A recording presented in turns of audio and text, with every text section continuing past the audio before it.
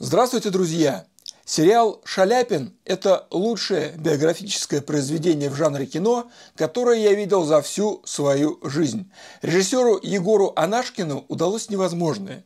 Не имея возможности показать артистический гений Федора Шаляпина и ошеломить зрителей его голосом, Анашкин, тем не менее, смог выстроить удивительный симулякр, где все условно и не по-настоящему, и в то же время поразительно реально. А еще в каждом кадре чувствуется много любви, понимания и уважения к человеку, с которым мы все разминулись почти навек. Перед тем, как продолжить смотреть этот ролик, выполните одну мою просьбу. Если Шаляпин для вас просто какой-то абстрактный персонаж, попросите Алису включить несколько его записей. Ну или поищите в любимом стриминговом сервисе. Послушайте «Ночной смотр», «Из-за острова на стрежень», «Блоху», как во городе было в Казани. Вот думаю, что уже после этого ликбеза вы поймете и почувствуете, почему о Федоре Ивановиче снимают сериалы в 21 веке. Как Пушкин придумал современный русский язык, так Шаляпин создал современное оперное искусство. Он стал не только брать правильные ноты, но и по-настоящему играть на оперной сцене. Его голос – пробивающаяся сквозь время и несовершенство технологий звукозаписи, производит впечатление посильнее, чем идеально записанные последователи и эпигоны. Я сам начал слушать Шаляпина лет, наверное, в 14-15, когда нашел у бабушки коробку с его пластинками. Поставил, ну, скорее из любопытства. как проняло! И с тех пор я собираю записи и все книги о Федоре Ивановиче, до которых могу дотянуться – а руки у меня довольно длинные. О Шаляпине написано очень много. Он сам оставил два тома мемуаров, первый, впрочем, целиком написан Горьким, плюс каждый сослуживец, приятель, критик и просто восторженный зритель стремился оставить какое-то свидетельство соприкосновения с гением.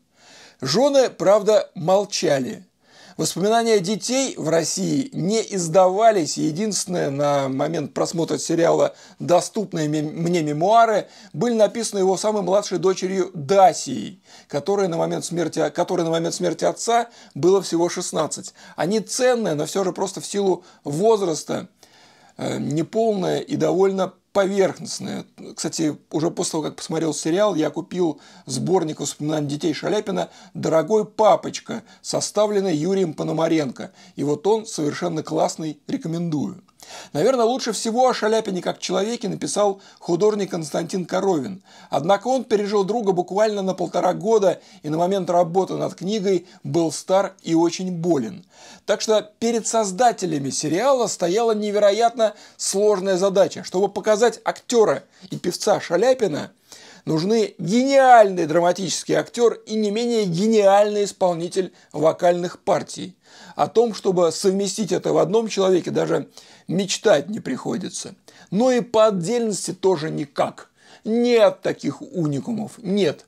Показывать вот просто Шаляпина человека, не актера, но не парадной информации до нас дошло мало.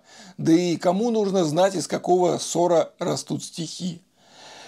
В общем, после бездарного и просто гнусного сериала «Вертинский» у меня было опасение, что мелкие человечки и Федора Ивановича изваляют в привычном для них коричневом. Каково же было счастье, что моя подозрительность не оправдалась. Федора Шаляпина играет актер Александр Горбатов. Он действительно похож на молодого певца, и, о чудо, он высокий. Я не перестану утверждать, что рост для актера имеет огромное значение. Стал бы Шаляпин тем, кем стал, если бы не его гигантские для своего времени 195 сантиметров. Да может и не стал бы. Он не родился великим мастером. И те, кто гранили этот огромный алмаз, обращали внимание в том числе и на фактуру.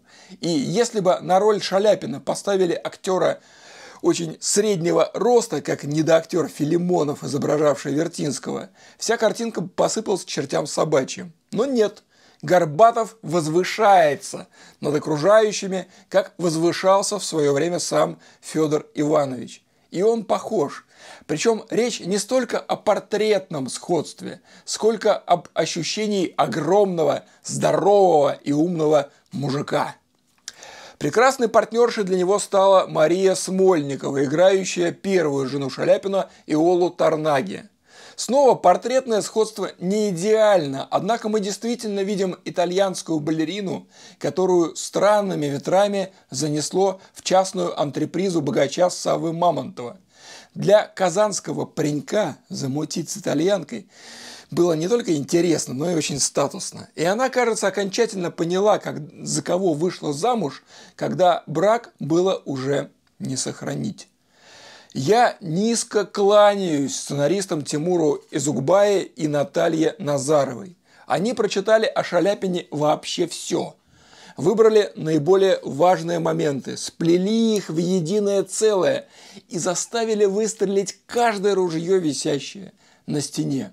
Но самое главное, они помогли режиссеру сделать убедительный фильм о Шаляпине – без необходимости демонстрации собственно шаляпинского гения, продемонстрировать который, к сожалению, к сожалению, попросту нельзя. Собственно, Алексей Горбатов и показывает нам, насколько сложно быть одновременно драматическим актером и певцом. Убедительно играть, даже изображая пение, невероятно трудно. И до Шаляпина никто это делать даже не пытался. Так что же делать? Шаляпин в сериале окружен реальными людьми, сформировавшими его мастерство. Каждый из них словно рассказывает свою небольшую историю. Вот молодой Рахманинов объясняет музыкально не очень грамотному певцу важность ритма и пауз. Тот уже словил звездочку, сначала шлет Рахманинова в известное место, но, будучи по натуре истинным мастером, находит в себе силы смирить гордыню и признать правоту будущего великого композитора. Вот историк Ключевский рассказывает об эпохе Бориса Годунова, подчеркивая важность историчности персонажа оперы. Вот художник Коровин прививает Шаляпину художественный вкус. То есть в кои-то веке нам показывают не только, как великий человек бухает, нюхает и трахается, но и то, благодаря чему и кому он, собственно, великим стал. Как же это непривычно. Но в то же время множество мелких деталей, как заметных непогруженному в биографию Шаляпина человеку, так и не очень, постоянно напоминают зрителю. Зритель – это красивая сказка с намеком, а не скучная биография. Получай удовольствие, задумывайся, удивляйся, но не требуй стопроцентной правды. Своеобразной фишкой сериала стало непопадание Горбатовым в слова во время пения. Насколько понимаю, съемки велись под архивные записи самого Шаляпина, а потом их заменили на специально запи записанные уфимским басом Ильдаром Абдразаковым партии. Ильдар Амирович не стал копировать Шаляпина, а просто хорошо перепел его хиты, временами используя творческие находки Федора Ивановича.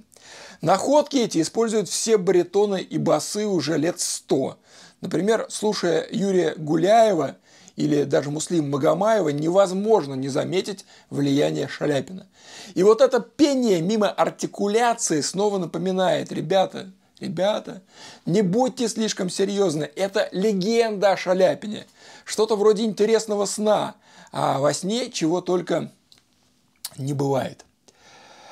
Вторая серьезная условность – это единый облик всех героев, проходящий через время. Шаляпин в исполнении Горбатова выглядит одинаково и в 20, и в 45 лет, тогда как на самом деле Федор Иванович изменился радикально. И на это влиял не только возраст, но и разнообразные недуги, преследовавшие певца.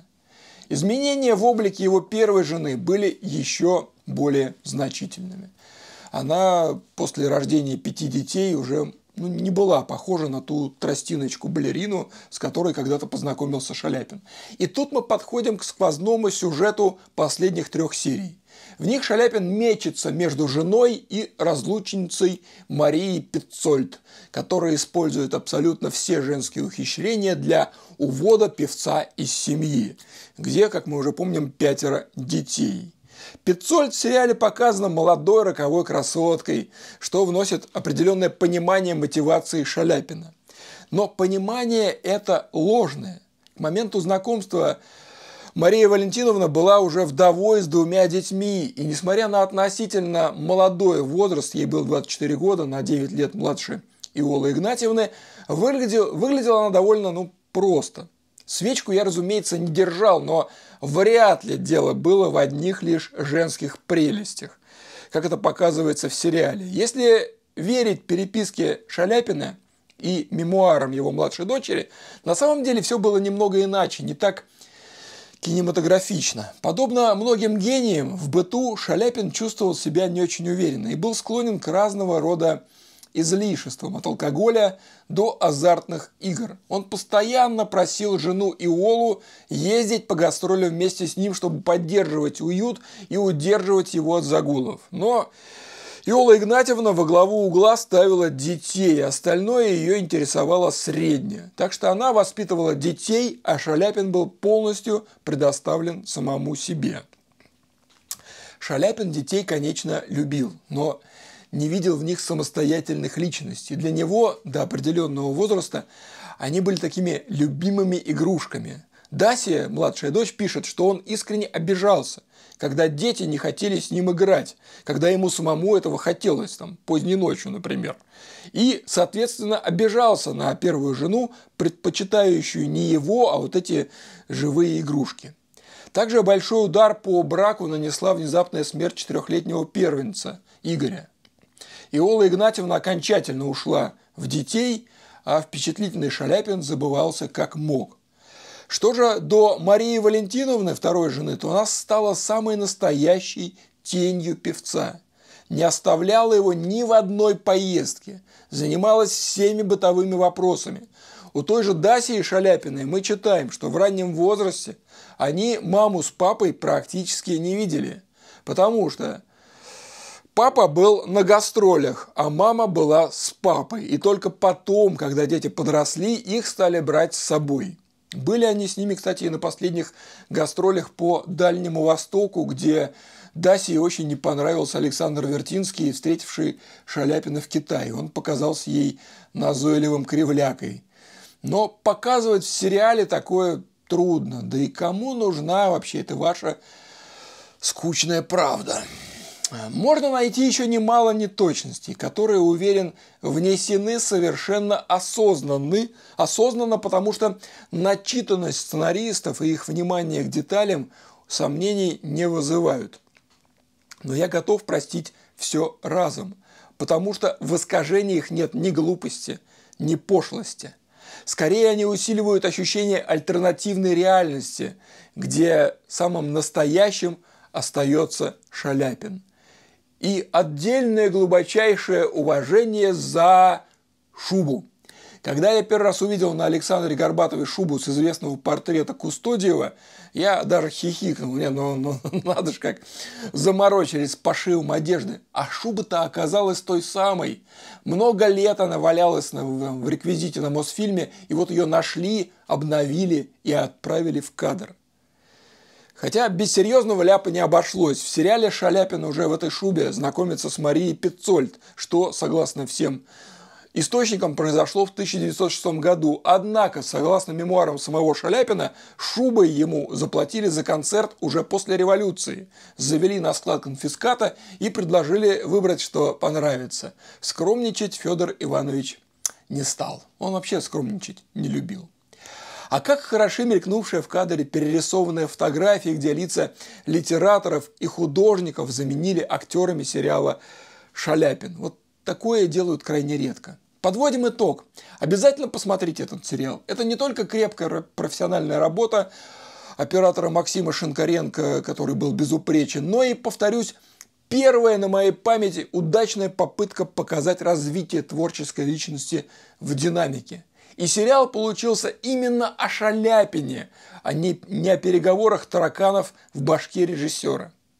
Было бы здорово, если и другие сериалы российских исторических и культурных деятелей будут выходить на таком же уровне. Но кого я, блин, обманываю?